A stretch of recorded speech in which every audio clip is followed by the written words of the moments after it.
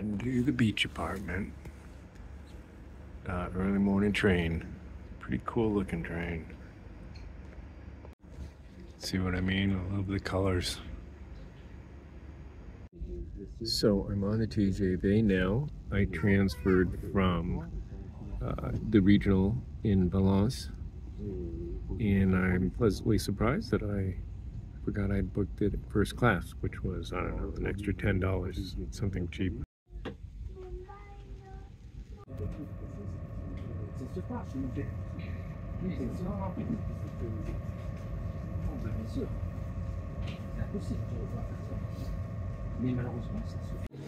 So I've made it to the Toulouse train station. And uh, I'm going to Bayonne. And as you can see my train has not yet had a platform assigned. A nice sized train station, it's quite long.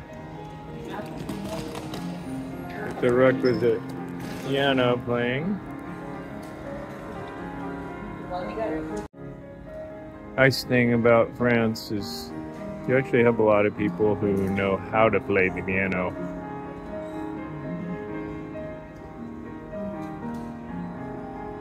Got Mickey D's over here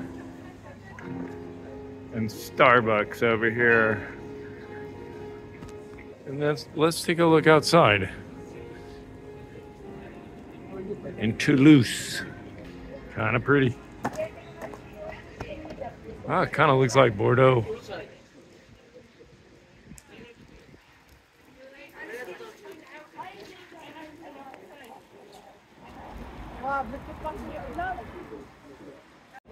But this is not where we are going to end up or even spend any time at. Oh yay, we just got assigned our platform. So I'm now in an intercities train and uh, it's gonna be no longer the TGV high speed rail. So this should um, take a while to go a little, to go not so far.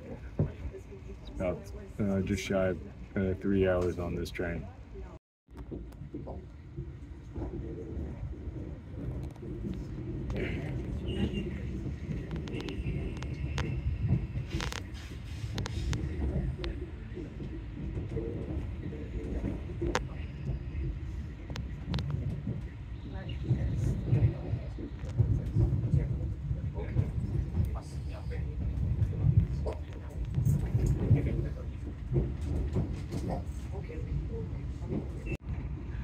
Wow, this thing is designated as just a SNCF intercities train, not TGV, which is the high-speed rail, but it seemed pretty high speed to me. It must be going. I feel like we're going about 100 miles an hour at least. Sure enough, I just clocked this on GPS going 155 kilometers an hour which works out to about 96 or 97 miles per hour. Not bad for a little intercities train.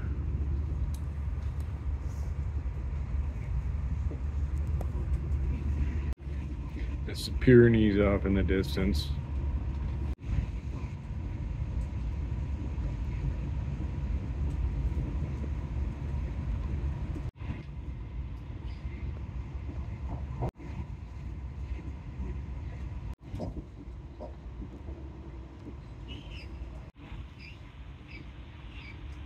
Maybe Pico Aneto? I don't know.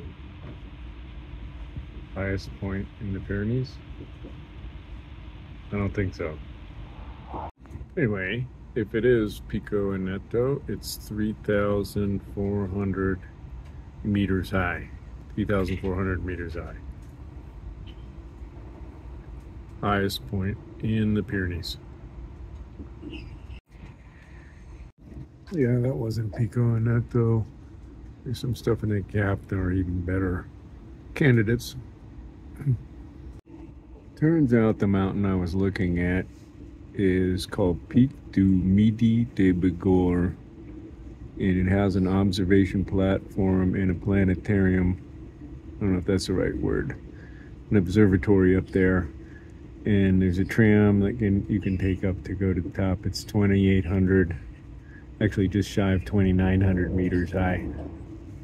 And this is what the lowland countryside looks like near the pyrenees. It's an interesting scene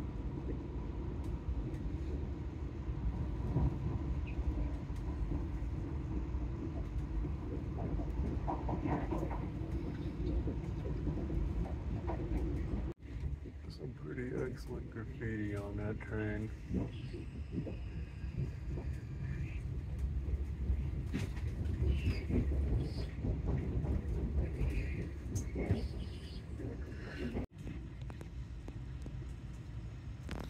Just another train stop along the way.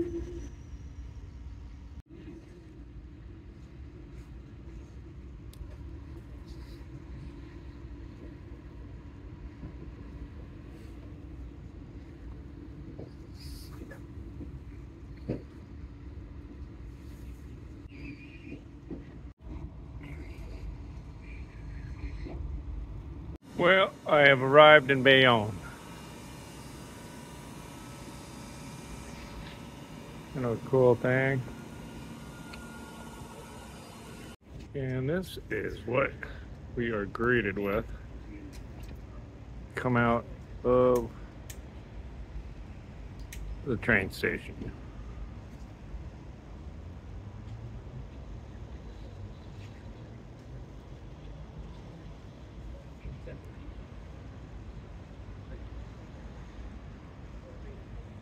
That's the uh, train station itself. So I found the car. It's like brand spanking new. It's the top of a parking garage. It was a little, uh, a uh, couple little panic moments, moments there where my app just logged me off and I didn't remember my password or didn't think I did. And then uh, finding the car in a, the top floor of the parking garage was a little odd. Look at those cool buildings over there. Anyway, um, yeah, so super, super nice looking. Looks brand new.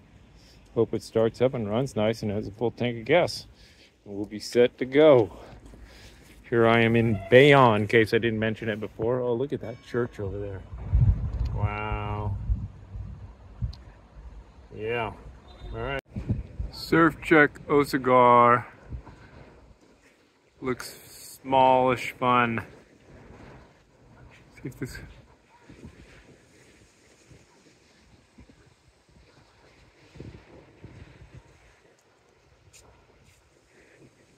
that would be Hossegor Nord. Check this out on the city's car. On one side, it's written in French, and on the other side, Get another language. Basque. Check that out, isn't that cool? So in our first visit to Hossegor, what's that symbol? I've never noticed that before.